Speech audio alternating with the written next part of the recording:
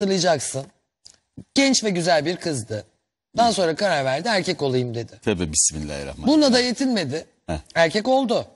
Bir de evlendi. Of of. işte. Koca oldu. İşimizin Güzel de sonunda. kız da aldı.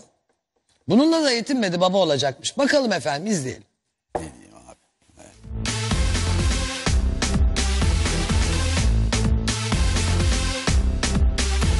3 yıl önce cinsiyet değiştirme ameliyatı olan ve Eylül ayında Tuğba Beyazoğlu'yla dünya evine giren Rüzgar Erkoçlar baba olma isteğiyle yeniden gündemde. Tuğba Beyazoğlu hanımefendiyle evlenmek istiyor musunuz? Evet! Ünlü oyuncu bir gazeteye verdiği röportajda birbirinden flash açıklamalarda bulundu. Başarılı oyuncu baba olma isteğini şu ifadelerle yineledi. Tabii ki çocuğumuz olsun istiyoruz. Bunun dışında kendi mesleğimi yapmak, artık ekranlarda olmak istiyorum.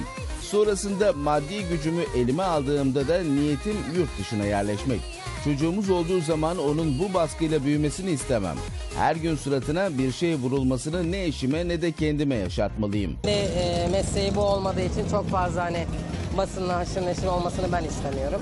Rüzgar Erkoçlar baba olma şansını yakalarsa çocuğunu nasıl yetiştireceği hakkında da bilgi verdi ve tamamen sevgi içinde büyüyen bir çocuk olacak. Ebeveyn olarak maddi manevi o çocuğun sorumluluğunu yerine getirmek gerekiyor. O yüzden bu sorumlulukları yerine getireceğimiz zamanda olsun hayırlısıyla.